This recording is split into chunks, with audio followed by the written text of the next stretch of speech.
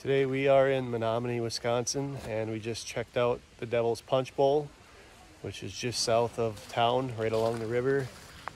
It's a short hike, um, just down a bunch of stairs, but they're not too bad, and uh, really cool views down at the bottom. So check it out.